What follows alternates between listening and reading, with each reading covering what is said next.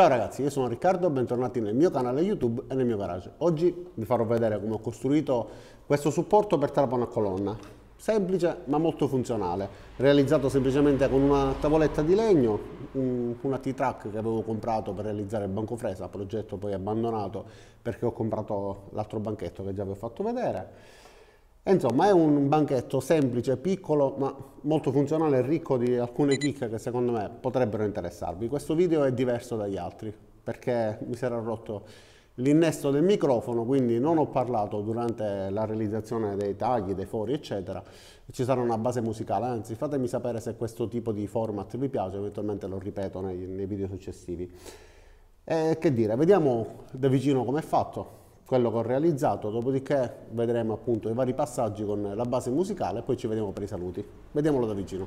È composto da una superficie semplicemente in legno laminato e nella parte centrale ho inserito un pezzo intercambiabile, un martire che poi subirà ovviamente lo sfregamento delle varie punte eccetera. Per evitare che si rovini comunque io su questa ho fatto un foro più largo su questa invece un foro più piccolo perché se dovessi avere bisogno di lavorare su pezzi piccoli comunque avrei più superficie d'appoggio rispetto a questa. Sulle stesse ho inserito delle spine che vanno a inserirsi all'interno di questa fresatura quindi si inserisce così e sta ferma per cambiarla basta o inserire il, il dito nel foro che ho realizzato oppure spingerla da sotto per poterla estrarre. Nella parte destra ho realizzato altri due fori per poter mettere il, la chiave per aprire e chiudere il mandrino ed una matita. Ho fatto dei segni con un pennarello perché guardando poi dall'alto quando si inserisce non si trova, quindi in questo modo direttamente vedo dove è il segno con il pennarello e inserisco nel foro senza la necessità di andare a guardare attentamente. Poi c'è un foro da questa parte come vedete questo serve a collegare l'aspirazione e con un foro inclinato rivolto verso la punta proprio perché deve aspirare i trucioli che si formano quando facciamo i fori. Sulla parte invece alla nostra sinistra c'è questo sistema che poi attiverà un, un blocco, una battuta laterale che funziona in questo modo. L'ho fatto leggermente più basso perché questa gomma va a premere sullo stesso tenendola ferma e possiamo utilizzarlo per forare o dei pezzi piccoli, quindi in questo modo noi dobbiamo forare eh, al centro di questa tavoletta, così in questo modo la battuta frena il pezzo che va a fermarsi, quindi possiamo ripetere su pezzi uguali i fori sempre nello stesso punto, quindi dobbiamo forare per esempio dei pezzi in metallo oppure dei pezzi in legno che facciano parte della stessa struttura e dobbiamo ripetere il foro, in questo modo abbiamo la sicurezza di eh, poter avere la battuta che ho prolungato con questa sporgenza che c'è da questa parte in questo modo.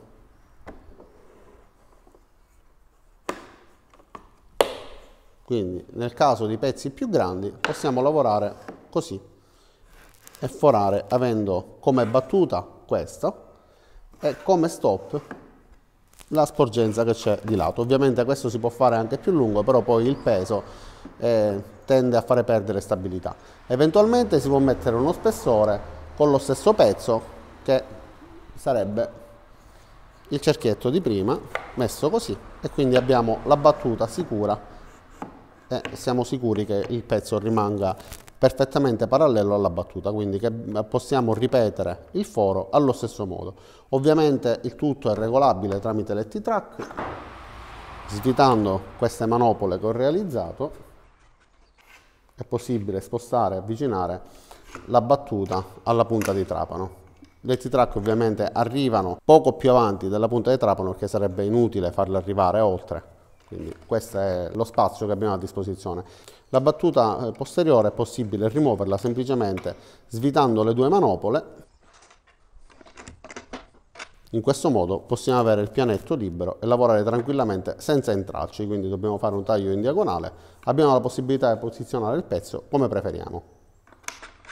Nella parte posteriore, purtroppo questo è uno scarto, quindi si è danneggiato, però come potete vedere il foro è in diagonale e ho inserito questo spessore per poter mettere questo pressore ovviamente poi di tutto vi lascerò i link per poter ricopiare il progetto comunque anche personalizzarlo e questa spina sulla parte posteriore serve ad alloggiare il martire quando non lo utilizziamo. Quindi messo così nella parte posteriore c'è la possibilità di averlo sempre a portata di mano e non avere il rischio che possa perdersi. Sia questo che quello più grande è possibile posizionarlo ovviamente nella, nella spina che ho realizzato in questo modo, sia uno che l'altro.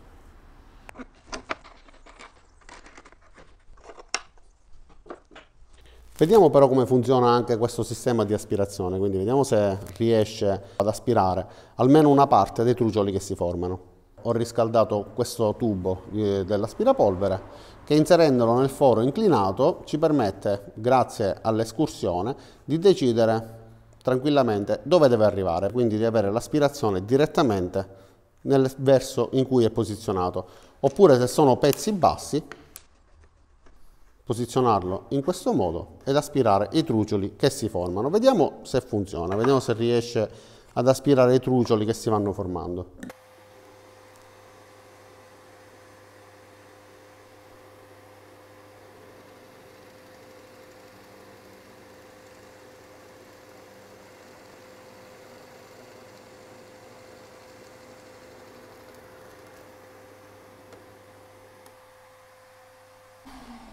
Questo è quello che rimane con l'aspirazione collegata. Vediamo senza aspirazione cosa si forma.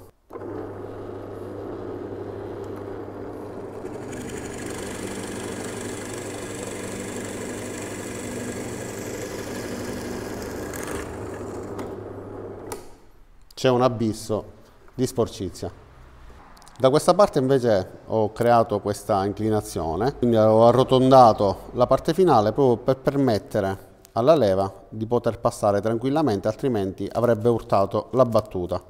In questo modo ho la tranquillità di poter lavorare serenamente, come vedete ho calcolato l'altezza perché le punte di trapano solitamente sono più lunghe della punta Fosner, quindi più in alto di così il pianetto in teoria non dovrebbe andare. E visto che spesso nei nostri laboratori abbiamo poca illuminazione o comunque il corpo del trapano a colonna crea ombra sulla base, io ho inserito anche questa lampada a pinza che mi permette di illuminare il piano di lavoro avendo una buona visuale e riuscendo a lavorare con più precisione perché comunque ci permette di vedere bene quello che stiamo facendo. Ovviamente ho praticato dei fori sul pianetto e poi ho fissato lo stesso con quattro viti. Quindi il materiale necessario per poter realizzare questo mh, supporto per il trapano a colonna consiste semplicemente in delle boccole filettate, questo pressore che ci permette di fermare il nostro stop e poi delle T-Track, T-Track che è possibile o acquistare, ovviamente vi lascerò tutti i link, oppure realizzare con la fresatrice con una fresa apposita per fare le T-Track che già vi ho fatto vedere nella realizzazione del supporto semplicissimo per il trapano a colonna che ho nel mio piccolo laboratorio, invece questo lo tengo in garage. Quindi adesso vediamo come l'ho realizzato, tutta la procedura, quindi tagli, assemblaggio dei pezzi, eccetera.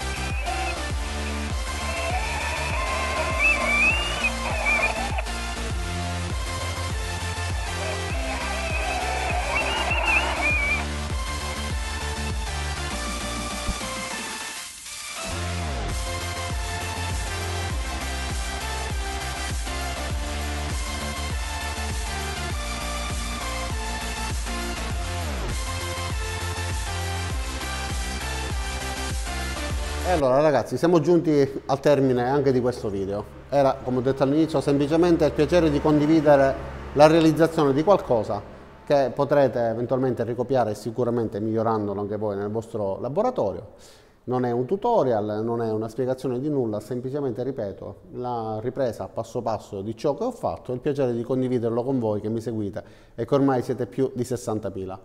Detto questo non mi rimane che ringraziarvi di aver visto questo video fino in fondo, vi invito ad iscrivervi al mio canale, mettere mi piace al video se vi è piaciuto e se lo avete ritenuto utile, attivate anche le notifiche cliccando sulla campanella qua giù e basta, anzi no, saluto Gabriel che oggi mi ha scritto e mi ha chiesto i saluti, quindi ciao Gabriel e basta, adesso vi saluto davvero, ci vediamo a tutti i miei prossimi caricamenti, ciao!